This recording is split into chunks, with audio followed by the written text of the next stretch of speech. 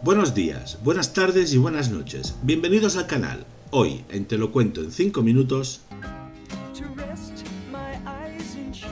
Hoy, encontrada en un albergue tenemos Desmembrados, film dirigido por Christopher Smith y protagonizada por Danny Dyer, Laura Harris, Toby Stephens y Tim McInerney, con una duración de 90 minutos del género terror, thriller y comedia, fue estrenada en el 2006. La historia comienza con un tal George y dos mujeres, Olga y Nadia, corriendo por el bosque, hechos polvo y huyendo de algo o de alguien. Las mujeres caen en una gran trampa, mientras George pasa de ellas y es atrapado por otra. Mientras cuelga, impotente, un hombre enmascarado se acerca y lo destripa con un cuchillo de caza, lo que más tarde se reveló como algunos días después de estos eventos. Ahora vamos a la división de ventas europeas de la Corporación de Armas Militares Palisade Defense. Están en un autobús hacia un fin de semana de trabajo en equipo en un albergue de lujo.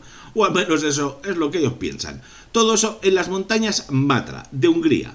Cuando un árbol caído que bloquea el camino detiene el avance del autobús, el conductor se niega a tomar un camino de tierra por el bosque y después de una discusión pues el tío se pira, dejando al grupo para caminar la distancia restante hasta el albergue de lujo, claro. Finalmente, el grupo llega al albergue, que es viejo, está hecho una pocilga y en muy mal estado, si es que eso es el albergue, por supuesto. Me parece más una choza abandonada que otra cosa. Entonces, el gerente Richard convence al cauteloso pero cansado grupo para que entren. En el interior, Harris descubre un archivador lleno de documentos crípticos de Parasite escritos en ruso. El grupo entonces discute sobre los documentos, lo que lleva a Harris a relatar una historia que había escuchado sobre este albergue. El albergue era anteriormente una institución mental y a principios del siglo XX se utilizó un gas nervioso fabricado por Parasite para limpiarlo después de que los reclusos lo tomaran Jill responde con otra historia que había escuchado del mismo albergue. Y es que era un centro de reeducación para criminales de guerra rusos, y después de una fuga se utilizó el gas nervioso para despejar a los fugitivos de los edificios cercanos. Ambos mencionan a un sobreviviente solitario que juró vengarse de la corporación. Steve comienza a contar su propia historia sobre el pasado del albergue, y puede ser la más real de todas. Dice que era como una clínica atendida por enfermeras, sexys y pichugonas, cuando de repente encuentran un diente humano en el pastel de carne, que el grupo está comiendo para la cena, y a saber qué sorpresas puede haber más.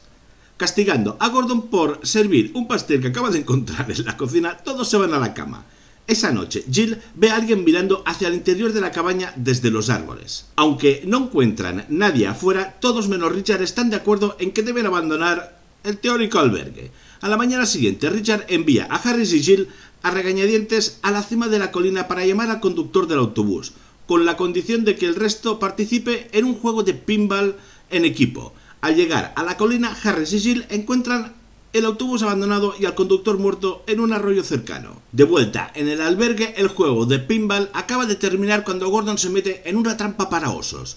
Después de varios intentos fallidos de Steve y Billy para abrir la trampa, en los cuales a Gordon no le hacen mucha gracia, bueno, pues finalmente la pierna de Gordon es amputada por debajo de la rodilla e introducida en una nevera del autobús. Eh, bueno, al principio no entra, pero quitándole los zapatos y los calcetines y rompiendo un poco el pie, al final entra.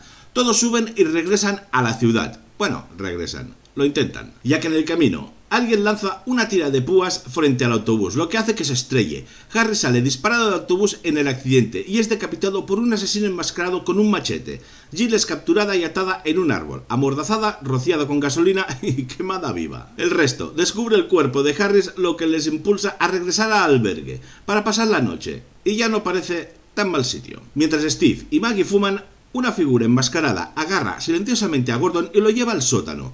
Al descubrir la ausencia de Gordon y una puerta recién abierta, los cuatro se dirigen, pues, eso, al sótano, que conduce a una prisión subterránea. A través de una puerta, Billy y Maggie encuentran a Gordon, ahora muerto, al que le han grabado el logotipo de Palisade en el torso, y a un asesino, ahora desenmascarado, que les dispara con una escopeta. Los dos se esconden en una celda cercana, donde Billy muere de una herida en el pecho.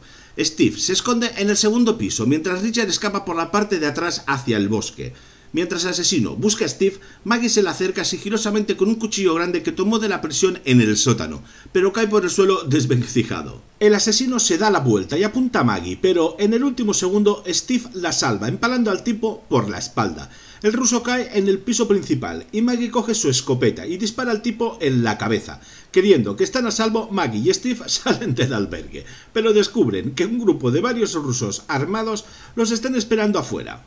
Ella dispara a uno antes de que él pueda dispararles, y los dos corren hacia el bosque. Se encuentran con Richard, que ha pisado una mina terrestre, hecha por Palisade, y no puede moverse sin detonarla. Richard guía a Maggie y a Steve a través del campo minado. Los asesinos saben que la zona es un campo minado.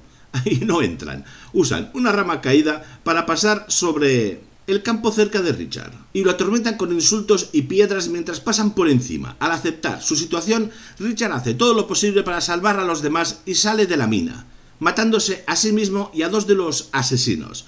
La pareja llega a otro edificio, el verdadero albergue Palisade. Este sí que es de lujo.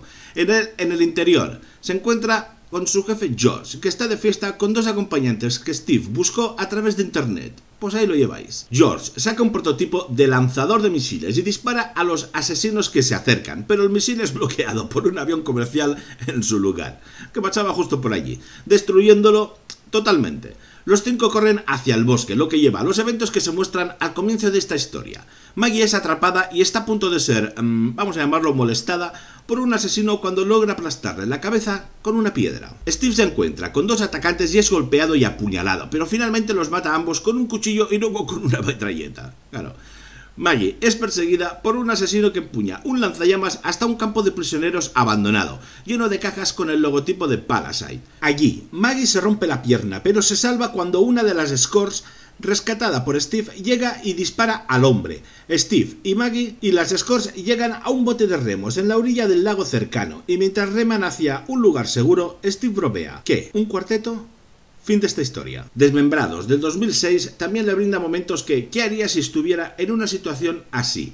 Lo que te ayuda a mantenerte involucrado con los personajes y la historia. Siempre he creído que las películas de terror deben enseñar además de entretener, y Severance enseña que los retiros de oficina deben dejarse en la sala de juntas, y su jefe se volverá inútil en los eventos de supervivencia. Con fuertes personajes principales y una variedad de compañeros de trabajo diferentes, esta película muestra lo que sucede cuando la política de la oficina y la supervivencia chocan. Severance del 2006, junto con las películas Zombies Party y Posesión Infernal, son una gran introducción al terror para las personas que no quieren sumergirse por completo a este género, pero que siguen jugando para pasar un buen rato. Mi valoración de Desmembrados es de un 6 sobre 10. Las películas de terror británicas siempre han dado un poco más en sus películas en comparación con sus contrapartes estadounidenses lo que se traduce en una película de terror buena y duradera, y Severance no es una excepción. Con la mezcla de casting, guion, dirección y edición hace que Severance sea un buen momento sangriento. Nada más por aquí, así que recordad, el cine es un espejo pintado.